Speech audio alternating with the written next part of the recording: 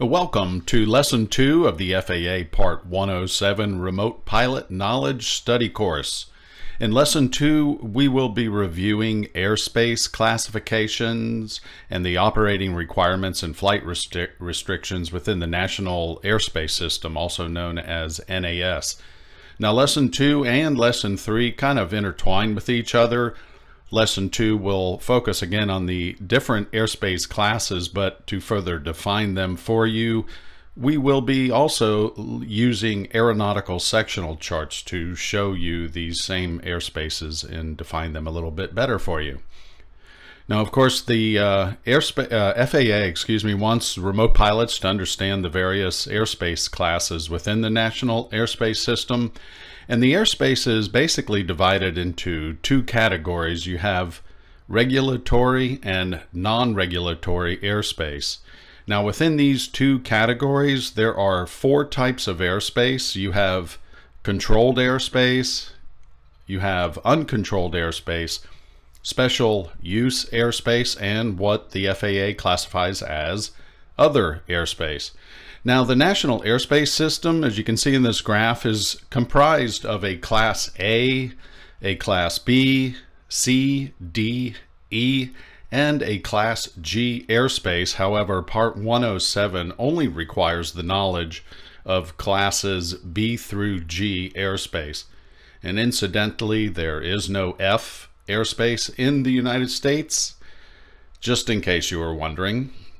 But Class B through G airspace all fall under regulatory airspace, which is governed by the FAA.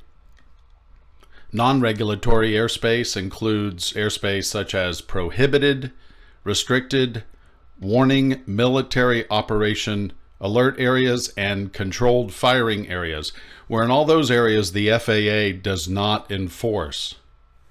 Now, controlled airspace is basically a generic term that covers the different classifications of airspace and defined dimensions within which air traffic control ATC service is provided in accordance with that particular airspace classification. Now, controlled airspace that is of concern to the remote pilot are Class B, C, D, and E airspace. Whenever a remote pilot is planning to fly an operation within controlled airspace, the remote pilot must receive FAA authorization before operating in any of the controlled airspaces.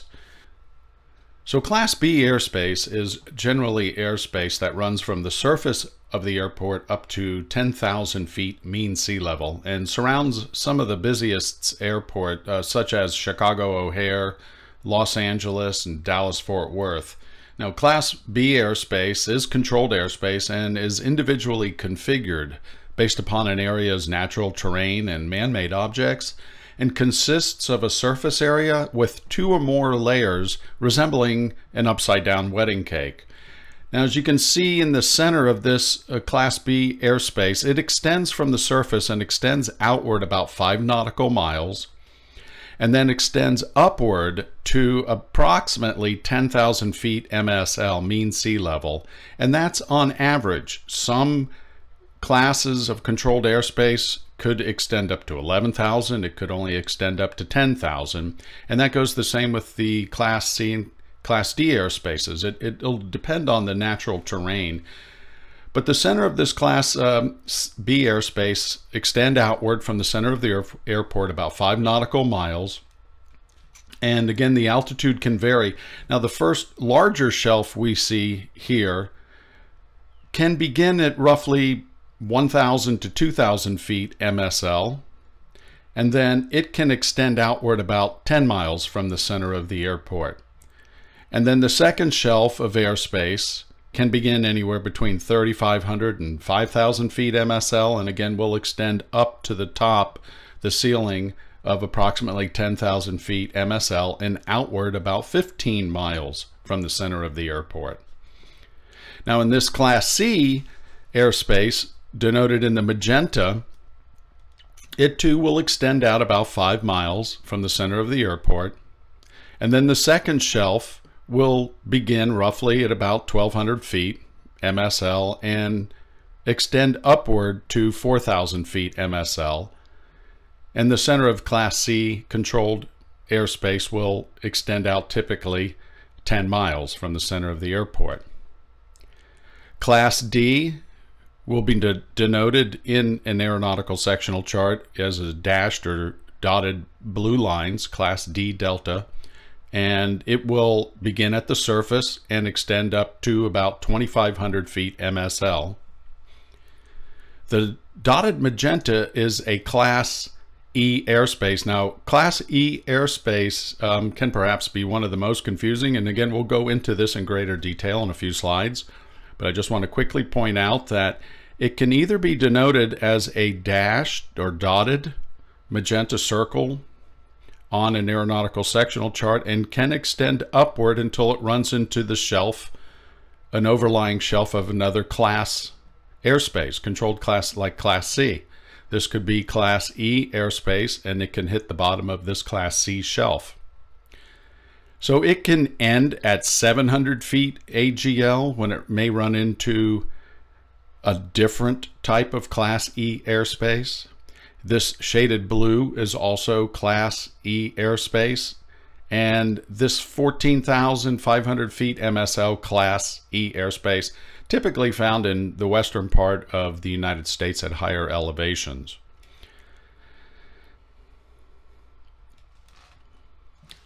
Now here we are looking at a two-dimensional looking downward on this Class B Bravo airspace. And again, it's it's denoted uh, on a sectional, aeronautical sectional chart in a solid blue lines or symmetrical circles.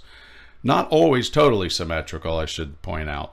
Um, but again, the inside the of the uh, airport, the very center of the airport, in this case, we have Charlotte Douglas International, and it's denoted in blue runway icon strips. And um, when you see an airport, they'll either be shown as with these runway patterns, or as we see here is a, a to the northeast, a blue icon, or down to the southeast, magenta. These are all airports but when you see just the runway patterns, that denotes that the shortest runway at that particular airport is at has a runway greater in length of 8,069 feet. I'd just like to point some of this stuff out as we go through this so you're not hit up with it all at once. But again, so the center of the air, the uh, first center of airspace extends outward about five miles from the center of the airport. And again, in this case, this airspace does run from the surface to 10,000 feet.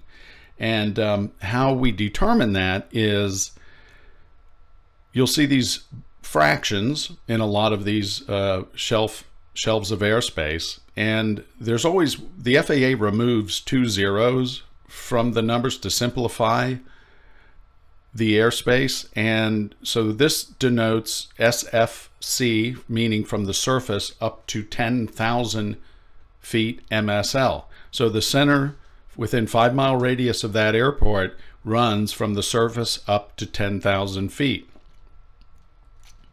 The first shelf of airspace typically extends outward about 10 miles, but as I'll point out here on the bottom part, 10 miles, but then if you can see it cuts out at the top and extends outward a little bit and then comes around over to the west side of the airport and bends around this little uh, airport.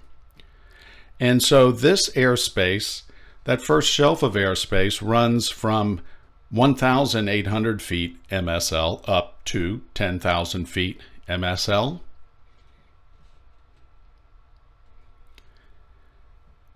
And then the second shelf of airspace, as denoted here, has a lot of little cutouts through it. There's, there's quite a few different shelves of airspace in this one shelf, so to speak.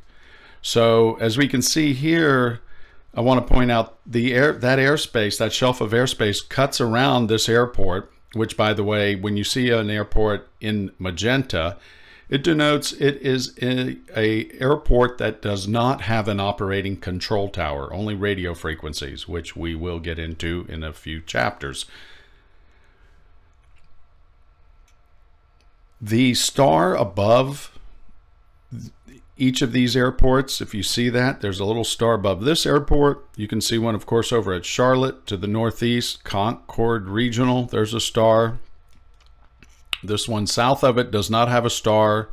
When you see a star, that indicates there's a lighted beacon. You may or may not have a, a question on that, probably not. But I, again, like to point this out to make these maps less confusing and basically you a better, more informed remote pilot. The little squares protruding off of the circle simply indicate there's fuel services available for the pilots, for the manned aircraft that land there. And you'll understand why we kind of need to know how busy a particular airport is, is if you are hired to operate your small unmanned aircraft near these airports. You need to be aware of the size of the airport and the traffic, corresponding traffic around there. But this second shelf of airspace in some sections begins at 5,000 feet MSL, again denoted in these like fraction numbers, two zeros missing, and extend upward to a ceiling of 10,000 feet MSL. However, there are a few areas where the lower shelf of the airspace begins at 3,600 feet MSL, and then another area by that little cutout where that airport is over on to the west of Charlotte Douglas begins at 4,000 feet MSL. And again, it begins at various altitudes based on the terrain and other man-made objects in the area and, and traffic uh, departure and approach patterns as well. But there's another shelf of airspace, not denoted in the graph on the bottom left. This Charlotte Douglas has uh, gotten to be a pretty busy airport. And um, if you look at the upper left, you can see that sh uh, shelf of airspace extends 30, 30 nautical miles out from the center of the airport. And that shelf airspace begins at 6,000 feet MSL and extend upwards to 10,000 feet MSL. So I also want to point out this is a airport Concord Regional and it is blue so that is telling us it has an operating control tower. And it is in a class D airspace delta dash dotted delta airspace. And again we're going to review this stuff again and so they'll be I'll be repeating myself a couple of times because I feel it's just easier to absorb this information again between lesson two and lesson three it's pretty much intertwined but I point out this Class D Delta airspace uh, because it cuts in. You can see that's why there's part of that cut in there from the Class B Bravo airspace. And it is also nestled, these magenta circles, again, we'll be reviewing this Class E airspace in a few slides in the next chapter as well.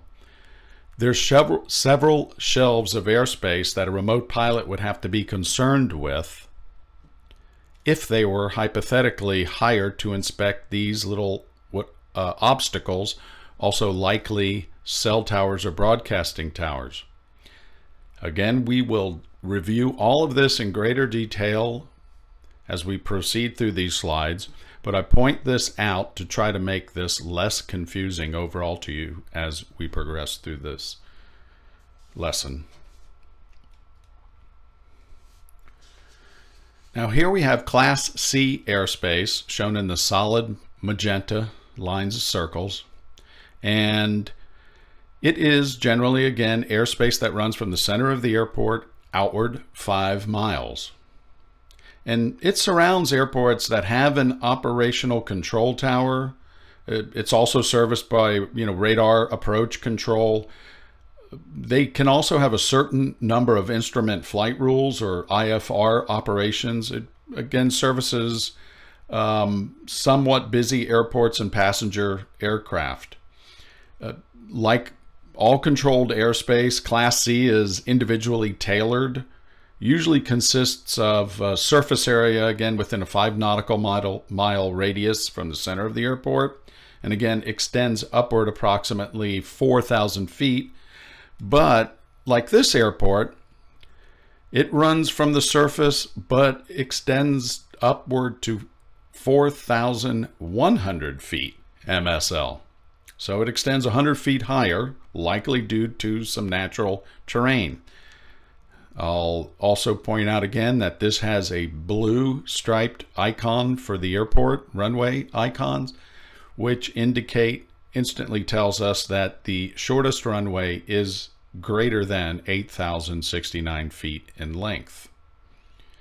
So the first shelf of airspace, 10 miles outward from the center of the airport, and it starts, the lower shelf starts at 1,300 feet MSL and extends upward to 4,100 feet MSL. Now I also want to point out that this Class C airspace is sitting on top of this shaded magenta circle, and that is Class E airspace. We'll go into Class E airspace, of course, in a few slides, but I just want to point that out. If there was no Class E airspace under this, you would just see solid magenta circle here. Also want to point out another Class D Delta dashed dotted Delta airspace to the southeast. And Class D airspace, the ceiling of Class D airspace will always be shown in a number inside a blue bracket, like this 25. And again, there are two zeros missing, so the ceiling of this Class D Delta airspace is 2,500 feet. So it runs from the surface up to 2,500 feet. Now above 2,500 feet, because part of this Class D airspace is sitting within the Class C airspace, Class C airspace would take over from the top of that Class D airspace and continue up to 4,100 feet MSL. So here are is a group of what is called are called obstacles and again these are likely cell towers or broadcasting towers. The reason it is important to know these various classes of controlled airspace is if you were hypothetically hired to inspect the top of these cell towers, let's call them, um, you would need to know obviously uh, how tall they are and whether they're protruding into any controlled airspace. To the bottom right, you see a number and a number in parentheses. You see 1,545 feet. That indicates the height of the tallest obstacle or tower there. MSL. The number on the bottom is AGL, above ground level. So we can see we're not very high above sea level there. If you were hired to inspect the top of this tower, you're allowed to fly your small unmanned aircraft within a 400 foot radius of that tower to the top of it. You would be legally allowed to fly up to 1,532 feet and actually plus 400 feet if you needed to, providing it doesn't penetrate into any controlled airspace. Since we know this shelf of airspace Class E begins at 700 feet AGL. Never mind this 1,300 feet shelf of Class C airspace. MSL, these towers are all protruding into this controlled airspace. So before you would be able to fly and inspect those towers, you would need FAA approval.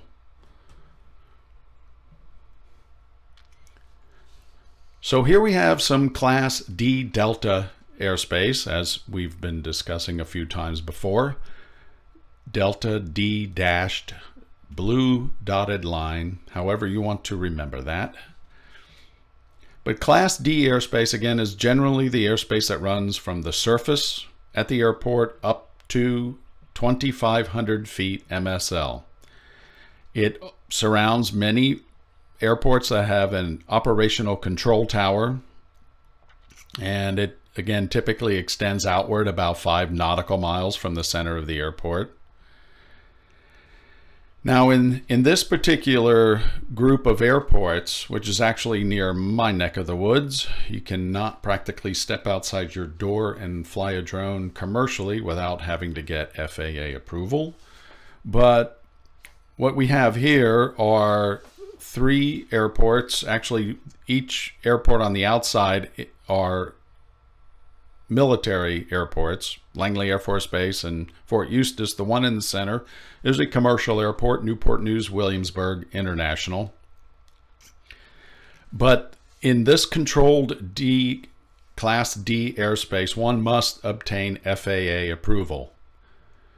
Now the ceiling again, we can see is 2,500 feet MSL as denoted in the number in these brackets. So this airspace, controlled airspace runs from the surface up to 2,500 feet.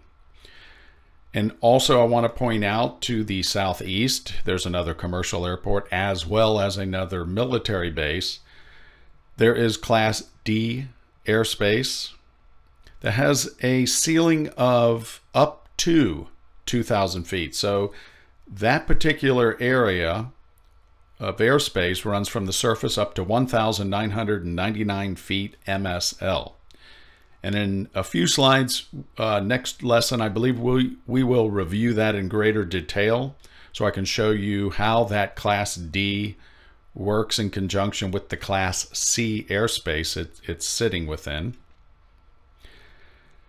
And then I just want to point out there's some Class E airspace attached off to this Class D airspace just to provide a little more clearance uh, for approach and takeoff. You can see this runway on this Fort Eustis, how it runs diagonally, so just to provide a little more approach and landing.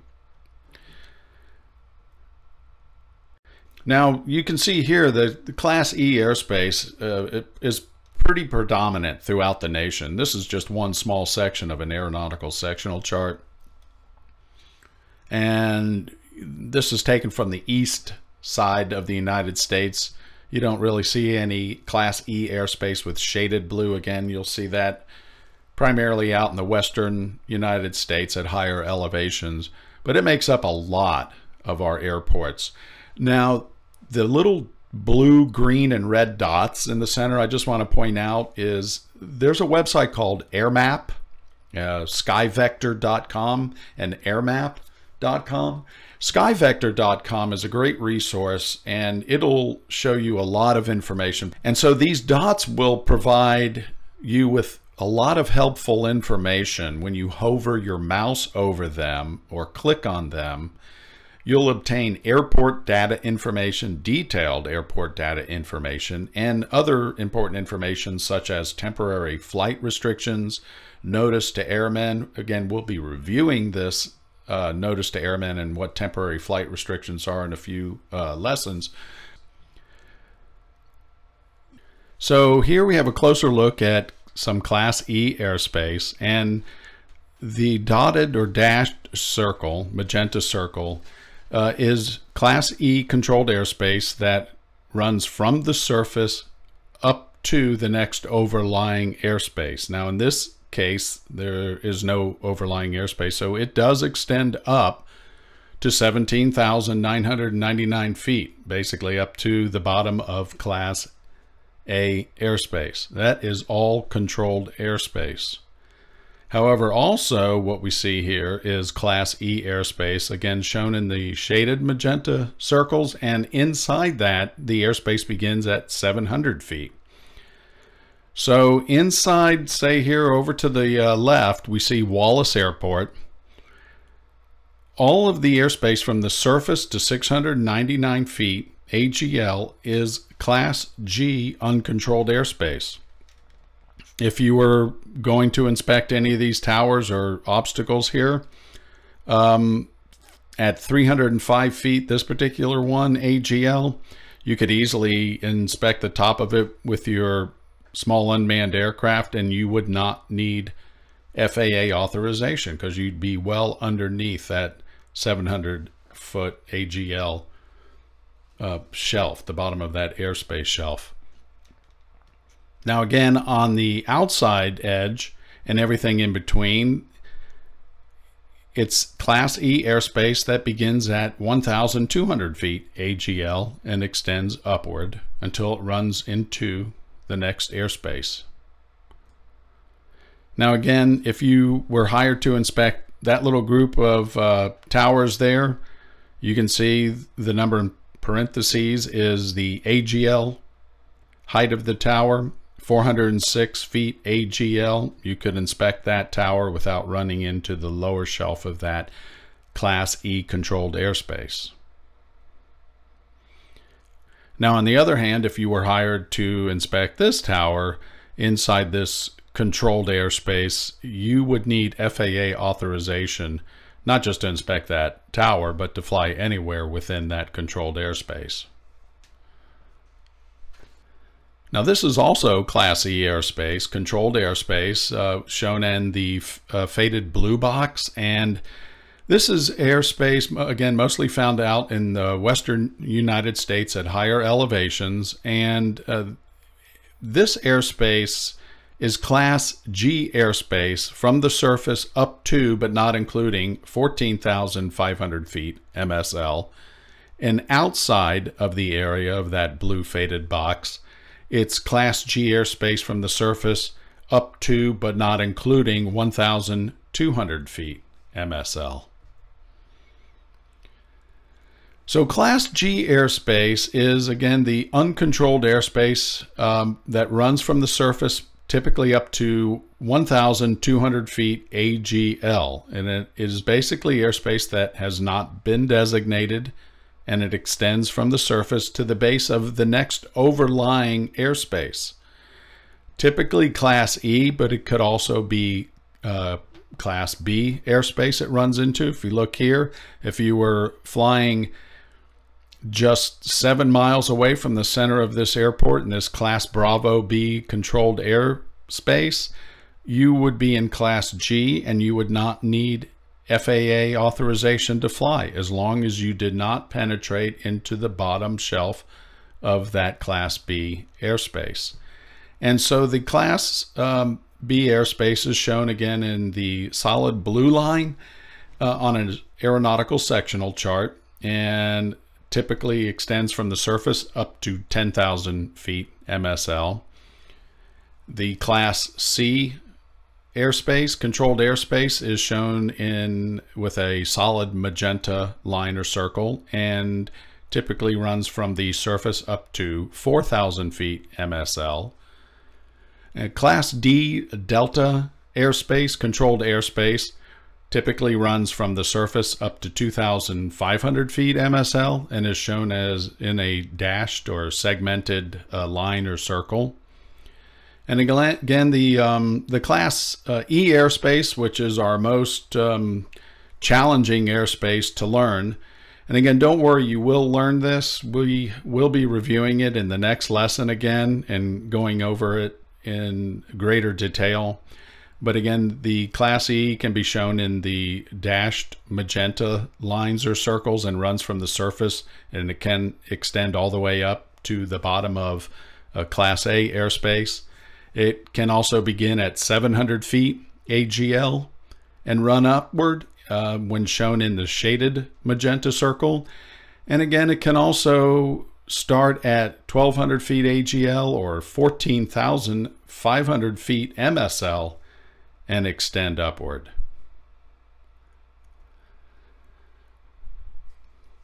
Now, special use airspace uh, or special areas of operation, SAO, is the designation for airspace in which certain activities must be confined or where limitations may be imposed on aircraft operations that are not part of those activities. So special use airspace usually consists of prohibited areas, restricted areas, warning areas, uh, MOAs, or what's called military operation areas, alert areas, or even controlled firing areas. Now, prohibited areas are areas that contain airspace of defined dimensions. Now, where the flight of an aircraft is prohibited for security or other reasons associated with the national welfare.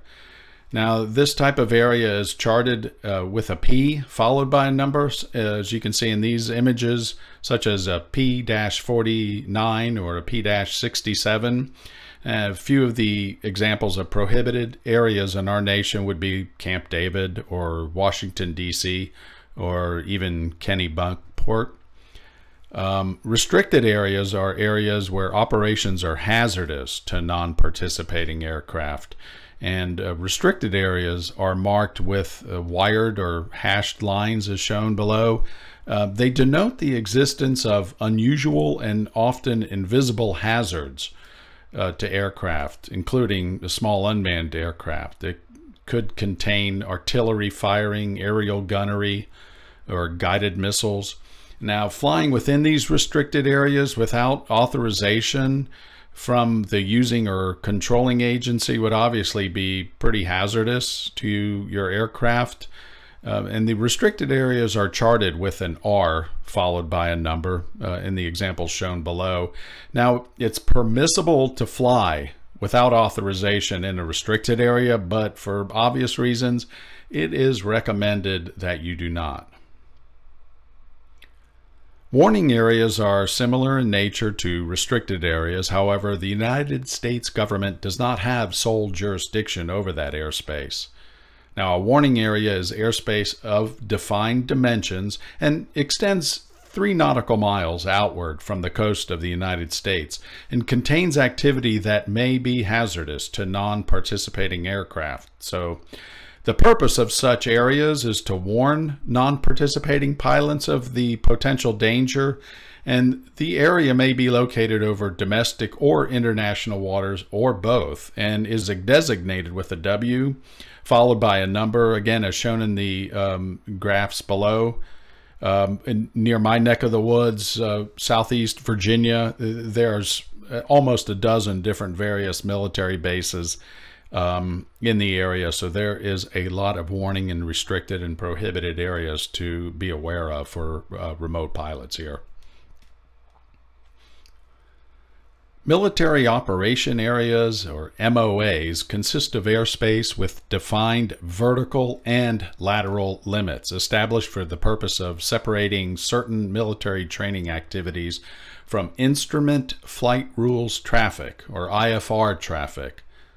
Now, whenever an MOA is being used, non-participating IFR traffic may be cleared through an MOA if IFR separation can be provided by air traffic control.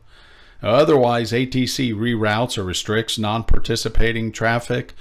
And although the ATC manages the national airspace system, each pilot is responsible for collision avoidance in a military operation area. Now, a controlling agency phone number as well as a radio frequency denoted within a sectional chart can provide the information for remote pilots to use. Rem MOAs are also depicted on sectional charts VFR terminal areas, IFR en route low altitude charts as well. MOAs are named and not numbered, such as in the examples below. Again, Phelps A MOA and Columbus 2 MOA. Um, also note in the red rectangle, the status, the request status box, it has a frequency of 119.75 that one could dial into with a VHF radio for additional information about that particular MOA. Now, alert areas are depicted on aeronautical charts to inform non-participating pilots of areas that may contain a high volume of pilot training or an unusual type of aerial activity. Pilots should exercise extreme caution in alert areas and all activity within an alert area shall be conducted in accordance with regulations without waiver.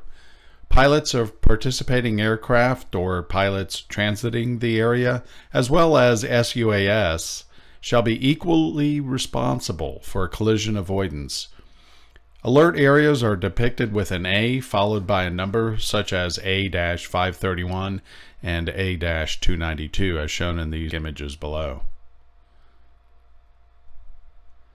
Now, controlled firing areas, or CFAs, contain activities that could be hazardous to non participating aircraft if not conducted in a controlled environment.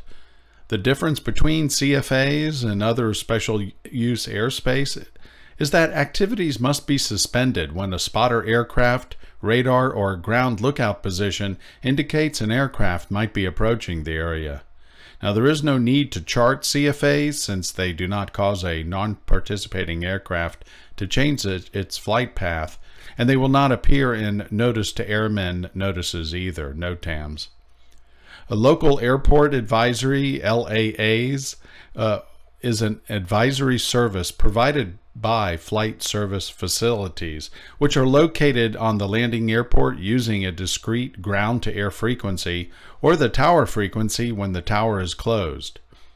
LAA services include local airport advisories, automated weather reporting with voice broadcasting, and a continuous automated surface observing system, ASOS, or an automated weather observing station, also known as an AWOS. The display data or other continuous direct reading instruments or manual observations available to the specialist. Now, we'll be reviewing the airport broadcasting frequencies in a later lesson, but below are a few images that show an ASOS and an AWOS airport frequencies.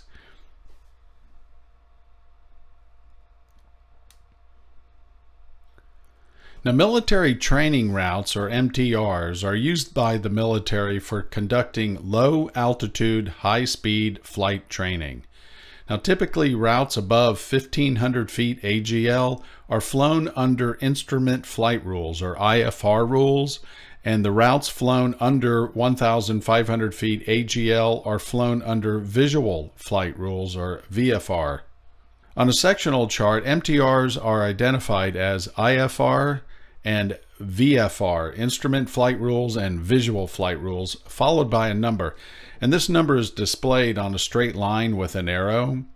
Now, MTRs with four numbers denote routes flown at 1500 feet AGL and below. At such a low altitude, this can obviously present challenges to an unmanned aircraft, and MTRs with three numbers or less denote routes that are flown above 1500 feet AGL.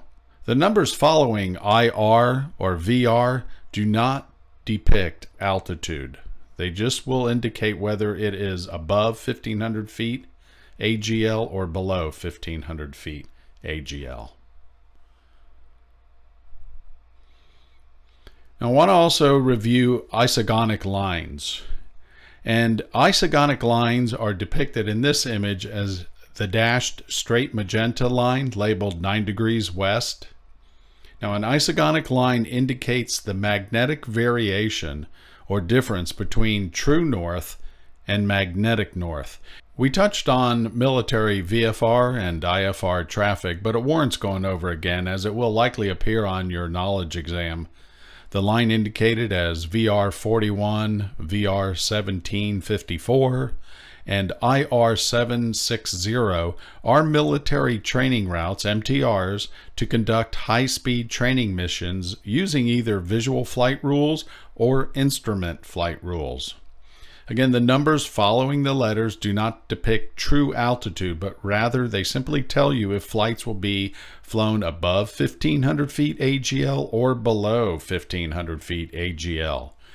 Routes at or below 1500 feet AGL are indicated by a four digit number, and flights above 1500 AGL are typically indicated by three or fewer numbers. It warrants pointing that out again because it will be on your knowledge exam. Now just to review a couple of icons here, here we see a parachute a jump um, icon.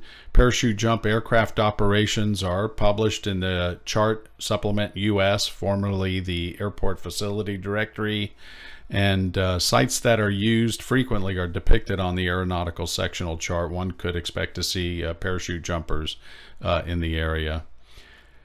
Published VFR routes are for transitioning around, under, or through some complex airspace. Now, terms such as VFR flyway, VFR corridor, Class B airspace, VFR transition route, and terminal area VFR route have been applied to such routes. Now, these routes are generally found on VFR terminal area planning charts. Terminal Radar Service Areas, or TRSAs, are areas where pilots can receive additional radar services.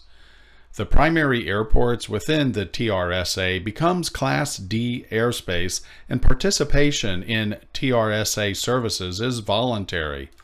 However, pilots operating under VFR are encouraged to contact air traffic control or radar approach control to take advantage of the TRSA service.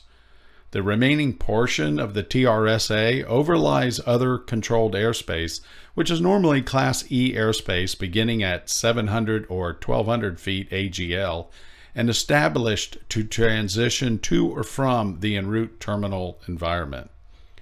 TRSAs are depicted on VFR sectional charts and terminal area charts with a solid gray circular line and altitudes for each segment as well.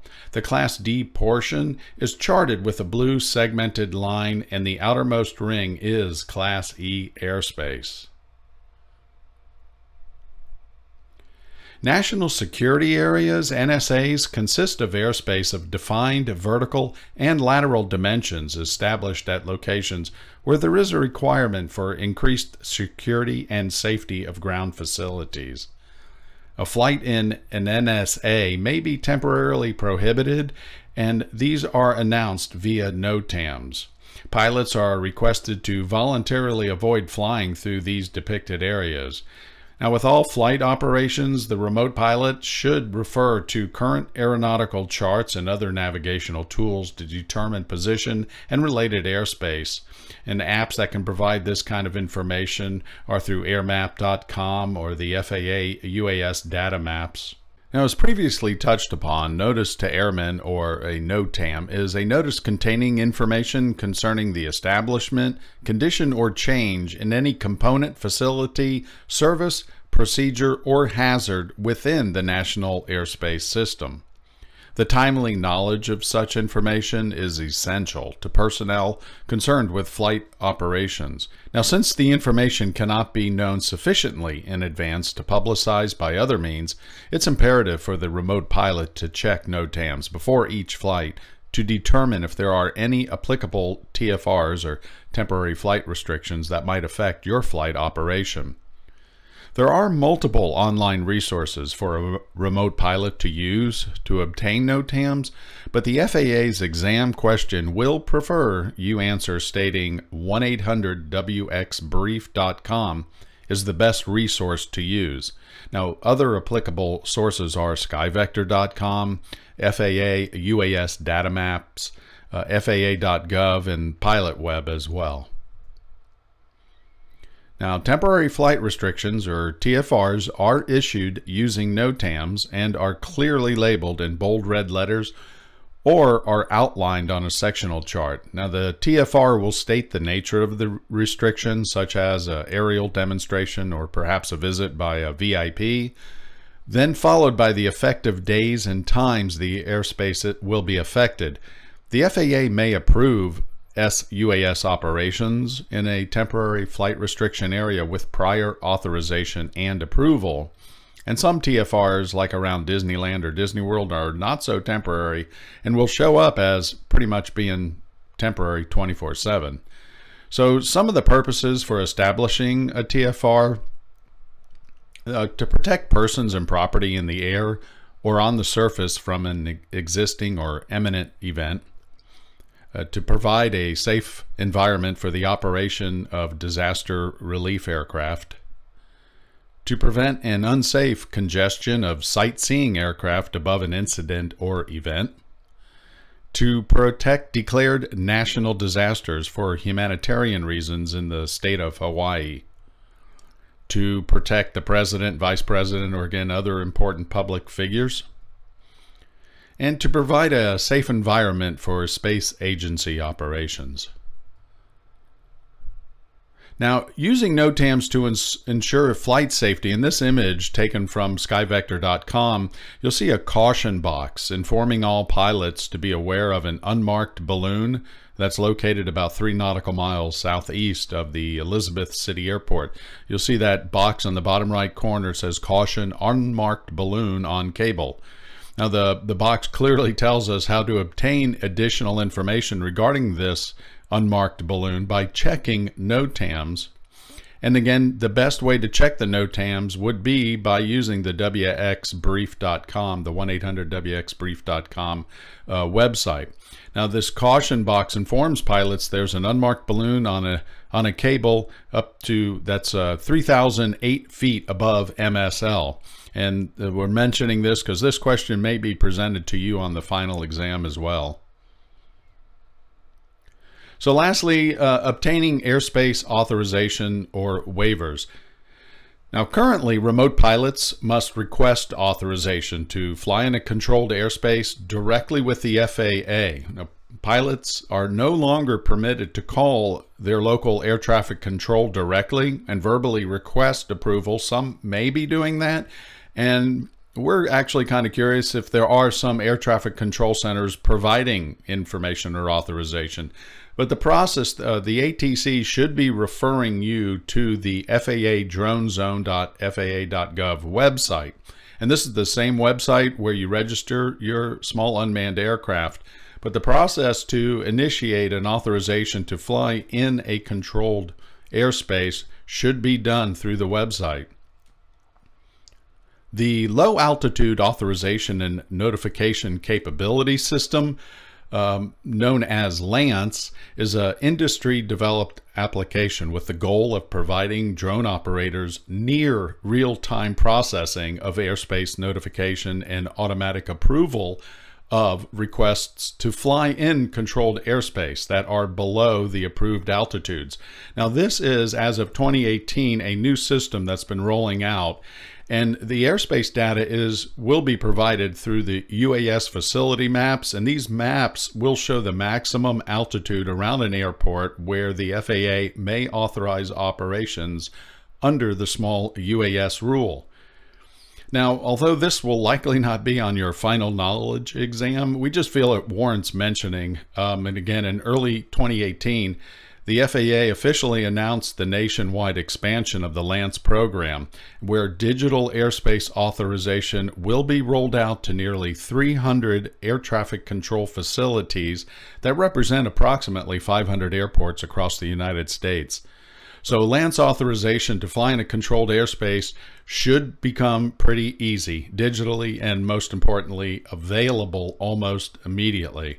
Now, if you're not in the LAANC area, and I believe they're starting out in the western United States first at some of the larger metropolitan airports, um, the air traffic control again should be referring you to apply for flight authorization via the FAA Drone Zone uh, website. So let's move on to 12 practice questions and answers here. So the purpose of a military training route is to allow the military to conduct, if you remember, that was low altitude, high speed training. Remember the the icons and the numbers VR or IR followed by a three or four digit number. According to Title 14, Code of Federal Regulations, Part 107, a remote pilot planning to operate within controlled Class C airspace must so if it's in a controlled airspace, the remote pilot must receive authorization from the FAA. A blue segmented circle on a sectional chart depicts which type of class air airspace. Segmented or also dashed delta blue, and that would be class D airspace. Which group of airspace is considered all controlled airspace? Well, we know Class B Bravo airspace is controlled airspace. We know Class C is controlled airspace. D is controlled airspace. But Class G is not controlled airspace, so the correct answer is B, C, and D. The NAS defines airspace under which two categories? So the National Airspace System defines airspace under two categories, and that is regulatory and non-regulatory. Now, controlled Class C Charlie airspace typically, on average, includes airspace from well, the giveaway question here is remember all this Class C controlled airspace is measured in a MSL. So the correct answer is from the surface to 4,000 feet MSL, typically. Controlled Class B Bravo airspace typically includes airspace from, and we gave another one away here, from the surface to 10,000 feet mean sea level. Notice to airmen are published by the FAA to announce, and this is in part, I should say, to announce. You may get a question like this, and again, the answer will always be the more true answer. Now, although there's several answers to this question, the really only correct answer is temporary flight restrictions, but again, it could be for other reasons as well. Temporary flight restrictions would cover important people coming to the area, president, An area that represents an unusual and often invisible hazard to aircraft, such as artillery firing or gunnery, is a prohibited area, a warning, or a restricted area. And remember that is a restricted area. It is restricted. A remote pilot would not necessarily need approval to fly within that restricted area, but for obvious reasons, highly recommended you do not fly within an area that has artillery firing or gunnery. I wouldn't. And lastly, in part, notice to airmen provide information pertaining to announcements for. Not for sudden weather changes, and changes to controlled airspace won't change, really. So it's military exercises, flights, of important people coming into an area, closed runways, exercises, etc. If you were hired to take photos in a prohibited area, are you allowed to fly your drone within that prohibited area? In an area that's prohibited? It is no, never permitted to fly within a prohibited area. And lastly, a solid magenta circle on a sectional chart depicts which type of controlled airspace. And Class B Bravo is blue, and Class C Charlie is magenta. All right, awesome. Good job. Congrats on completing lesson two. If you want to press on and continue with lesson three, which we will review aeronautical sectional charts, it's the two dimensional view of the airspace we kind of just reviewed and then some. And we'll also go into latitude and longitudes and a bunch of other great stuff. So press on and congrats.